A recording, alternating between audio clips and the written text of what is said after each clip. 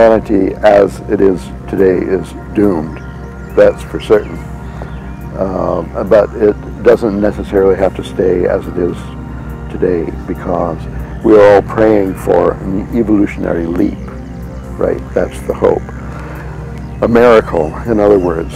So we wouldn't even be here if we didn't have miracles before. I mean, there's Homo erectus and, and so on. So uh, we are, a lot of us have been working explicitly for an evolutionary leap. That is to say, what precipitated major cultural bifurcations in the past and how can we intentionally intervene in history so as to create a different future.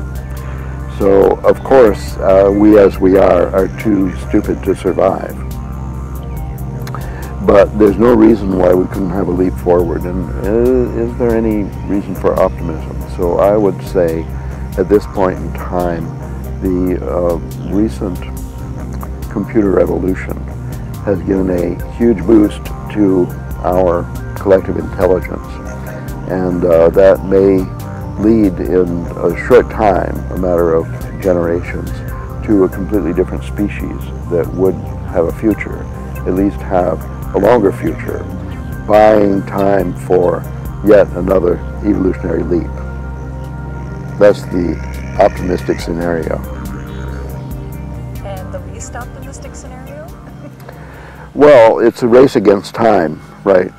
So uh, when bifurcations happen, they happen very suddenly, like global climate warming, so-called.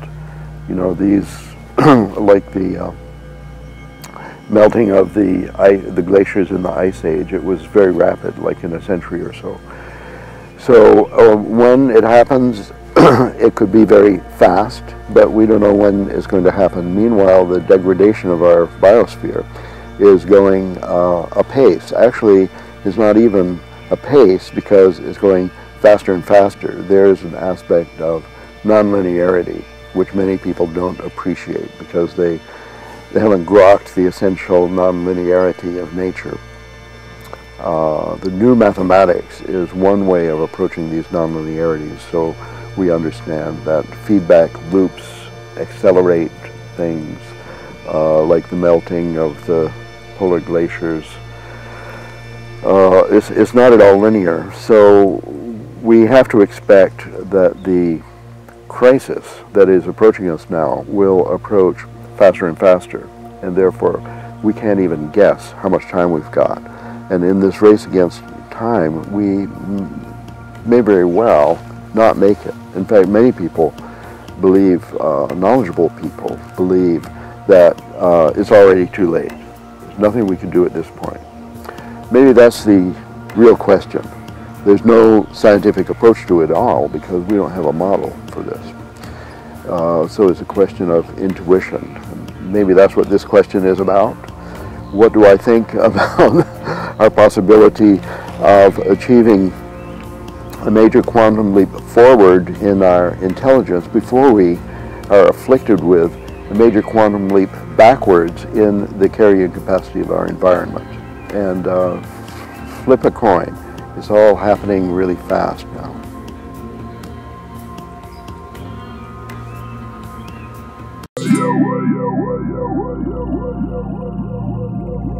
Well, I have no idea I have not had a near-death experience. I've met people who had a near-death experience and they're pretty convinced that the near-death experience has given them a little glimpse through the window into the afterlife.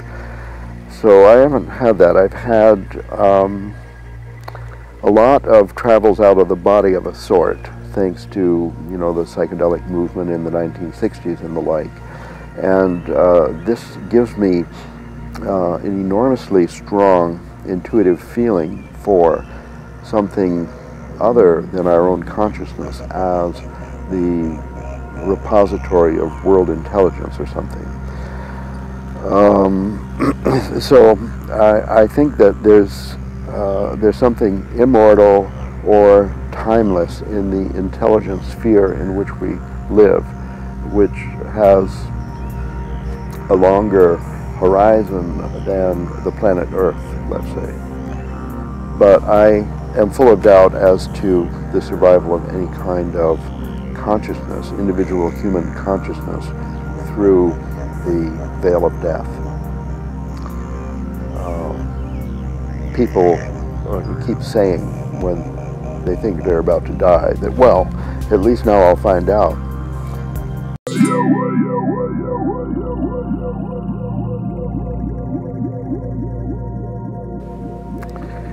Well, yes. Uh, I have an opinion. I don't know anything about God. I think that that word is uh, meaningless to me, and I'm not sure if it, what it means to other people. Maybe everybody has a different idea. But intelligent design is uh, a mainstay of the history of thought. Um, the, the history of ideas has been focused on, has been fascinated by the, um, the creation mystery for all time. There's no culture that doesn't have a creation myth. And I am not a scientist, you know, I, I, don't fully understand science and I don't have great faith in it and I have a lot of mixed feelings about science, although it's done my health a lot of good. Um, so uh, science to me is a kind of a religion like many others, like uh, Roman Catholicism, for example. And uh, scientists comprise a community with a certain uh, paradigm or dogma. They think about things in the way that is the cognitive style of their community, which evolves rapidly and is highly interesting. And within that paradigm, there is a creation myth about the Big Bang, the first jiffies, and so on. And to me, that is just as uh, fictitious or uh, conjectural or mythical as uh, any other. Similarly, um, I have you know no faith in any other creation myth. I think the existence of creation myth is a certainty, and the existence of creation is an unanswerable question. Because we have this unanswerable question, it just the minute you look out at nature, your, your mind is boggled by the beauty of it. And you have to wonder, how did this come about? So we, we have these myths. Now, throughout the history of science, let us say, in the Western mind, so beginning with uh, Pythagoras and uh, Thales, let us say, and up until the Renaissance, we had uh, always a version of intelligent design was always part of the picture. That is, we don't know how a flower gets its shape. So uh, you can, if you want to, believe that the shape of the flower is in the DNA of the flower, or the Darwinian evolution, the random mutation and natural selection has somehow produced these beautiful shapes. Because if the flower didn't have a beautiful shape, the bee wouldn't come to reproduce and so on and so on. So uh, for me, not being a scientist or part of that faith-based system, I have to uh, doubt the power of DNA to explain everything, like memory, learning, uh, paranormal phenomena, and, and so on. And therefore my opinion, my way of looking at things is more in tune with the pre-modern mind. So before the Renaissance, we had uh, angels and uh, intelligent sphere of Plato, the world soul uh, in nature, as above, so below, and so on. There is an intelligent design. It's got nothing to do with God, and we don't know where it comes from, but somewhere in the sky, as it were, are immortal forms which manifest in life on Earth and possibly life in vastly different times and places on other planets and other galaxies and so on, where there is a certain hanging together, a certain likeness of the forms that are observed that emerge in life, a likeness of form, which is, as it were, a projection from a platonic blueprint in the sky down into the process of nature, which includes the DNA and the, all, all the fantasy of uh, science, which is their main preoccupation these days. The uh, preoccupation of uh, science with the detailed mechanisms and so on is all true. I'm not doubting it, but I think that in order to explain life as we know it, it takes also a little bit more, something more than random uh, evolution. So that's just my inclination, along with uh, Rupert Sheldrake and Ervin Laszlo and so many people, I am kind of a doubter of the dogmas of, of science.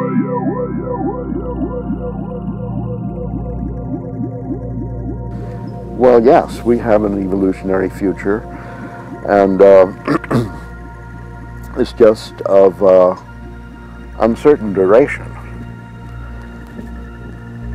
I, I am not a uh, doomsday person. I think that if we don't wise up as a species, then we'll certainly destroy life as we know it on this planet. And uh, all the evidence is that our species is getting more and more stupid in its relationship to the environment. Maybe of necessity. Maybe there are only so many smarts, and as population numerosity includes increases exponentially, then uh, we become dumber and dumber even if we have a smart idea, we are not able to manifest it because the world that we live in is just somehow too uh, uh, immutable, too uh, inflexible. So we have a future and our evolution, I think, is going faster and faster. We see in each uh, generation, you know, I teach in university, so every single year I see a new cohort I see kids of the same age coming a year later from the last kids of the same age, and each year I find them unrecognizable and completely mysterious because they have a cohort culture of their own and is evolving very rapidly and frequently with very little reference to the preceding cohort. And for that reason, uh, that there's less and less coherence between uh, cohorts, as it were, that uh, evolution, at least uh, time rate of change, is faster and faster. So we have this not only runaway, runaway population density, but also runaway cultural transformation. And um, this is our evolutionary future. We see maybe in the next 15 minutes all the change that happened in the past century. So we can't even say where our horizon is because things are changing so fast. My father rode in the first car, you know, rode in the first airplane. Um, when I first went to Europe, there were no flights. You had to take the boat. So this is within a generation. I mean, generations are coming faster and faster. so our evolution is a certainty. But in terms of Earth years, um, rotations of the Earth around the Sun or something. We don't know how many of those there will be before our evolutionary track comes to a shrieking halt.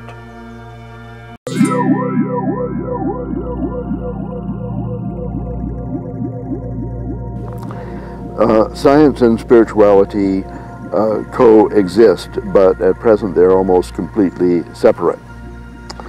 So we have an interesting phenomenon in the human mind, which I'm not sure if is evolving, changing, or is perennial, uh, and that is uh, denial. I remember a book by Ernest. Becker called The Denial of Death. So we have evil in our world. We have knifings and shootings downtown. We have cruelty. We have corporate crime. And uh, evil also seems to be evolving. Each year, people think up new crimes that there may be more creativity among the criminal element than among the great scientists or musicians, painters. So people who care about good and want to give it a boost, altruistic people, constantly looking for a theory of evil. And Ernest uh, Becker was one who, on his deathbed, basically, uh, proposed a theory of evil that is based on the denial of death. If we could accept that our death is inevitable, we would live a different way. So the denial of death is just one aspect of denial. And what I'm proposing is that denial is somehow a fundamental function of the way our minds are wired up. So for the coexistence of science and spirituality, we now have, we observe the coexistence within a single person of these two completely uh, orthogonal paradigms because of some kind of schizophrenia or multiple personality syndrome that is uh, our, our, our, minds are able to support effortlessly. So we have in Japan, for example, a, a scientist who doesn't believe in telepathy or nature spirits, goes home, takes off his white robe, puts on his Shinto robe, and starts worshiping the nature spirit in the tree. And uh, we have that here also. Rupert Sheldrake has proposed an experiment about dogs who know when their owners are coming home, or the staring experiment. So the, the scientist, who is very opposed to this, who is perhaps a card-carrying member of CSICOP, who is an editor of Skeptics magazine or whatever, um, such a person may deny the telepathy with dogs in the daytime and in the evening go home and fully expect to find his dog waiting at the gate. You see, so we can support completely disjoint ideas in our minds at the same time and this is the kind of coexistence we have now between science and the spirit. But many people, including me, pray that the barrier between the right and left personalities, as it were, may fractionate over time, may become uh, porous, decrease its strength. And so each mind denying the other one, the denial would become weaker and a kind of integration take place so that science could wholeheartedly and openly embrace the individual soul, the world soul, and the higher realities of the spiritual life could be could become acceptable in science and maybe even transform science into a more integrative paradigm which would decrease the negative function of science which is to harm the environment out of ignorance or dogmatic belief.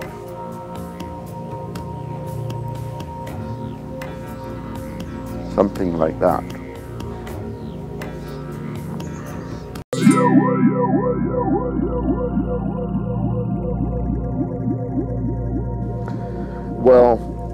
We have uh, now a big fad of uh, science of consciousness, so-called, or consciousness studies, so-called.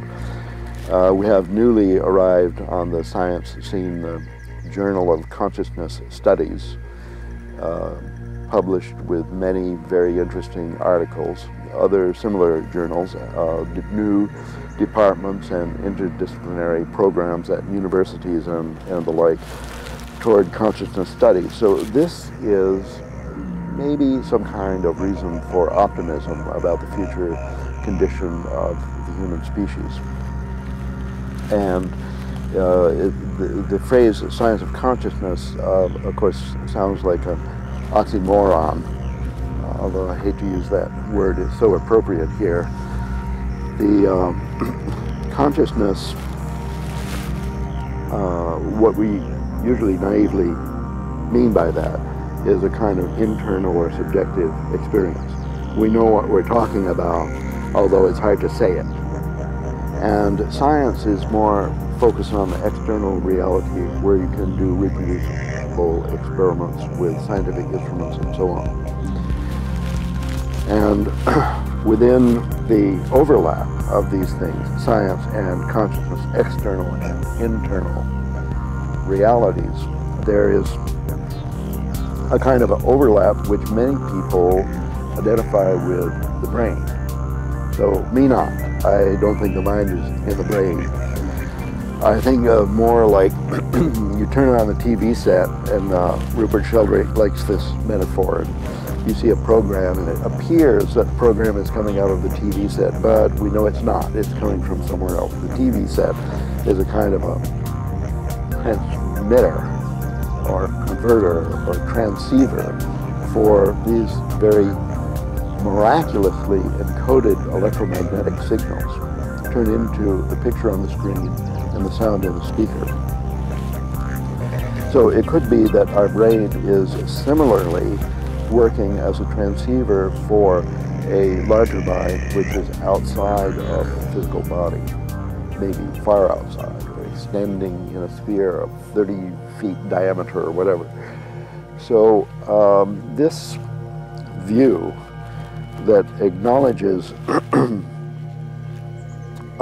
the existence of many mental functions outside of the brain also explains the apparent role of the brain in thinking as revealed by experiments with electroencephalograph and uh, other kinds of mental imaging.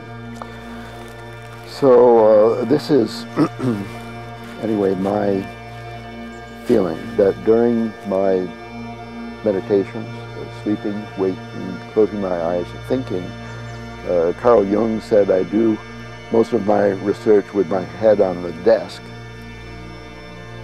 With that, uh, thinking, reflecting, and so on, which I spend most of my time doing as a mathematician, that's how it's done. Um, we get more and more and more experience of this other reality, which I don't think can be imaged with uh, instruments.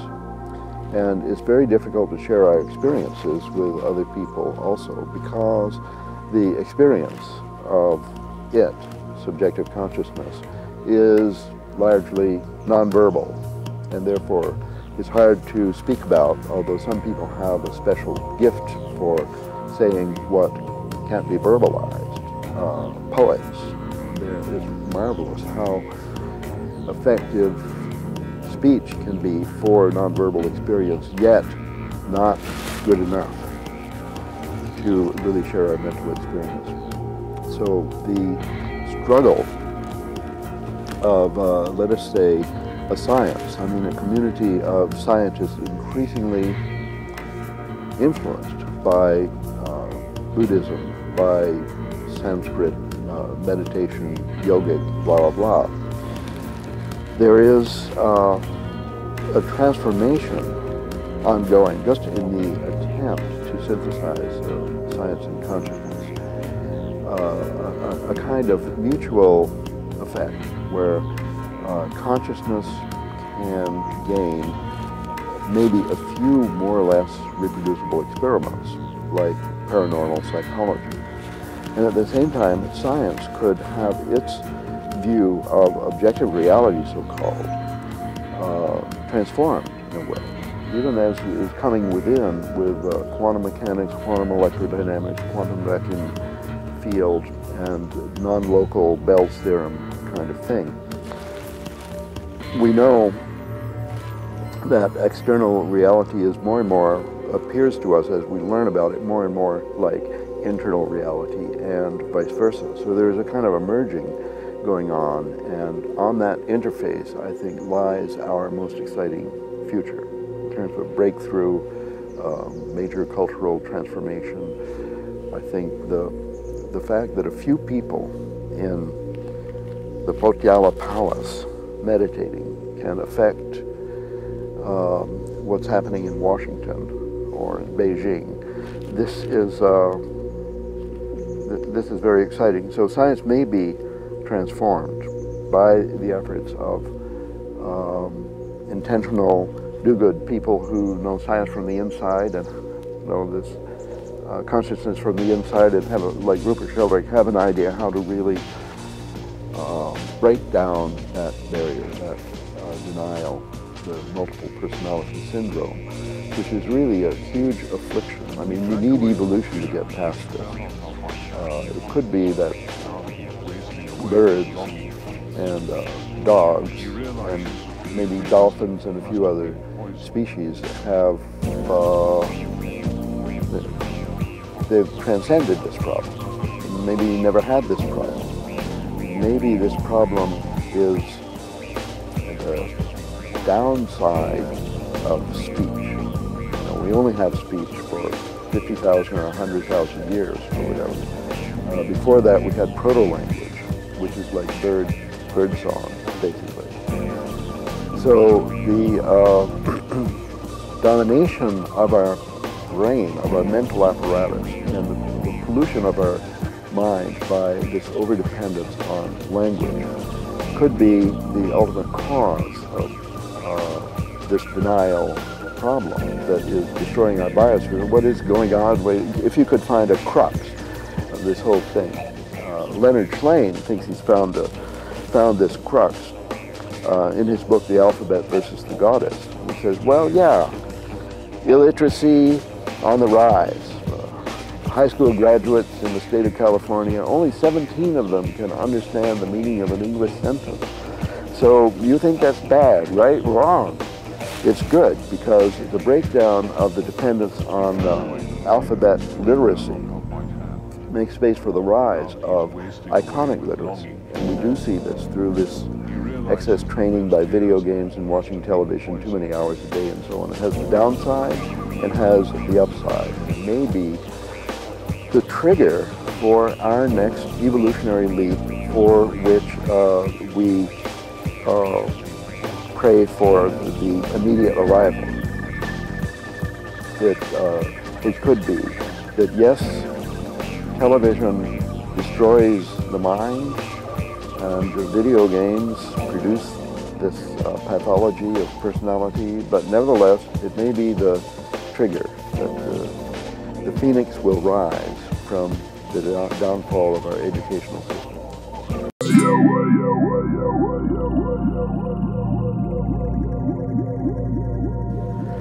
Well,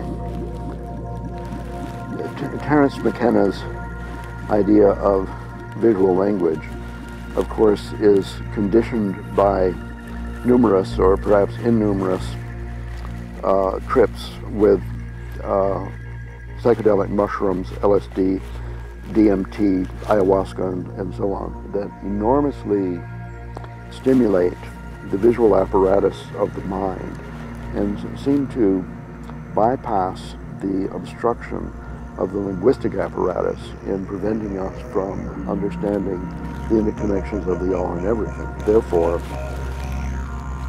the uh, instruction of this kind of experience, which is also common with certain kinds of yoga and uh, visualization techniques.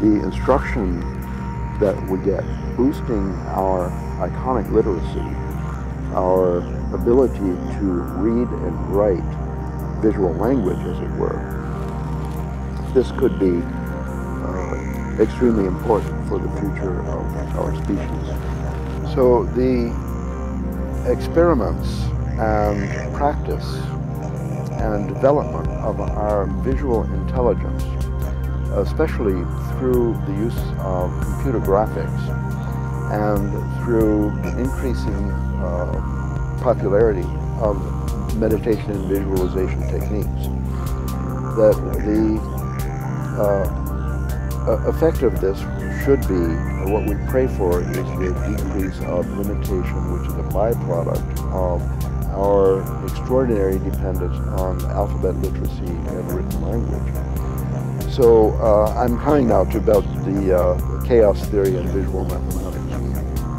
In this uh, binary opposition, uh, apparent binary opposition of uh, visual and verbal communication, there is actually a third option, and that is mathematics. So we live in a culture which is math adverse, and that's bad because every high culture of the past has had a highly developed mathematics. And it's generally understood by cultural historians and educators as well that you can't have fully functional people without mathematics. You can't have the intelligence to survive in a complex environment without mathematics. So we need uh, verbal skills that we have. We need uh, visual skills that we are recovering from our pre-verbal history, prehistory. And we need the mathematical skills also which complement those two. These are three different cognitive strategies which are mutually reinforcing. So far, throughout uh, the history of thought and up until the 1960s or 70s, mathematics was only seen by mathematicians. But since the advent of computer graphics, mathematics becomes visible to all and everyone. So we can understand the relationship between mathematics and verbal language, which is symbolic expressions with math symbols and equations and so on. And now we can understand the relationship between mathematical thinking and visual thinking, mathematical uh, cognitive style and uh, visual cognitive style through the revelations of computer graphics. And that's what visual mathematics is all about. It's the same old mathematics, but become visible to children, to animals, to all and everyone through the amazing capacity of computer graphics to represent mathematical ideas. And even today, people who have seen a lot of mathematics displayed on record covers, book covers, and, and so on, still mistake mathematics for the symbolic expressions of algebra that they were learning in the seventh and eighth grade in uh, high school at the time when they departed from mathematical thinking altogether. So the misunderstanding of what mathematics is is part of the reason that we're losing mathematics and therefore have a declining ability to understand our complex environment and deal with it intelligently. So uh, the role of chaos theory is uh, it's amazing because through the lens of computer graphics, when you see what chaos theory is providing us, uh, you, you see enormous harmony this kind of synesthesia between the mathematical uh, illustrations coming from chaos theory and nature around us. Suddenly you realize for the first time that uh, Euclid didn't have it all. You know how Galileo said um, he was very religious and he believed that uh, God wrote the book and our job is to uh, read and understand and appreciate that book but the book is not the Bible, it's nature. So Galileo said, uh, God has written the book of nature in mathematical language, and so you have to learn the basic concepts of mathematics, which are lines, circles, triangles, spheres, and so on. Well, if Galileo had been able to see chaos theory and fractal geometry, he never would have laid such a burden on Euclidean geometry to explain nature now suddenly we have. We're far from modeling nature, but we are so much closer. So to see these images represented by computer graphics coming from abstract pure mathematics of chaos theory and fractal geometry, realize what a boost we get in our ability to understand the world around us. And say, hey, this is visual language, verbal language, mathematical thinking combined into a approach to understanding. This is our intelligent future, and where is this coming from? Computer revolution. When? The 1960s or 70s. So recent. Where can we go from here? It's uh, fabulous. In my teaching, so I'm just finishing a course called Chaos, Fractals, and the Arts, uh, which I've given several times, and I see that the students uh, one year, they've never seen a computer. The next year, they're able to write their term papers. And the next year, they're able to manipulate their photographs. And the next year, they're able to make movies and submit CDs or DVDs instead of written papers. It's iconic literacy and conversability are, are evolving at such a rapid pace that not each generation, each year, each cohort, we see an enormous advance. My students now can do what my students a year ago couldn't even dream of. And they just take it for granted. So this is why I think evolution is going real fast. We have the technical appliances that increase our intelligence, and it's necessary at the same time to further poetic license in written language, the, the graphic arts with and without computers, and the frontier of mathematics, boosted by computers. All of this together, that is our project for survival creation of safe future.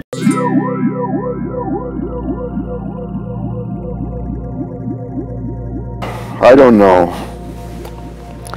Uh, technology impacts me like raindrops. Every new thing that comes along surprises me. So one thing I can't do is predict where it's all going. My interface to uh, all that, the apical meristem of technology, is primarily in the area of computer software. Now everybody knows about the hardware, like the most intelligent, amazing machine ever built on planet Earth is a cell phone. And we know what they can do. We take it for granted. We don't realize that what's going inside of it. It's so small, what could be going on inside, that you have a computer as capable as the largest supercomputer in the world 10 years ago or 15 years ago. It's in there with the Unix operating system and with software uh, contributed by altruistic people working nights and Sundays throughout their life. so um, I am involved in computer programming on a daily basis for these past 25 years or so, teaching computational mathematics and, and so on. I use all the tools and I have to learn new programming languages every year. So I've seen that in the world of computer programming languages, there is a kind of evolution like the evolution of species, which is saltatory, which is episodic. And there are a certain number of developments which are gradual improvements, like the accumulation of libraries of uh, functions that people have written that other people can use and so on. And then every once in a while there's an actual quantum leap, you know, a bifurcation to a new paradigm.